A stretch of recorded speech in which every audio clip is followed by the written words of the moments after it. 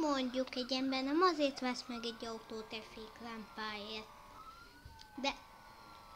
És nem is a gyorsaságért.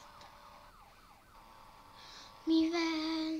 Milyen az emberek? Nem azért vesznek autót.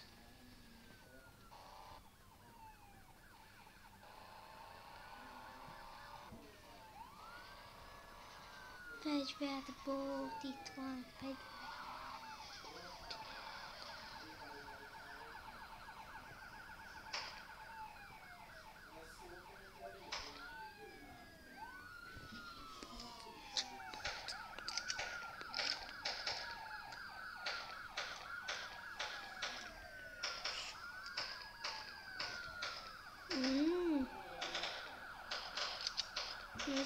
пушка.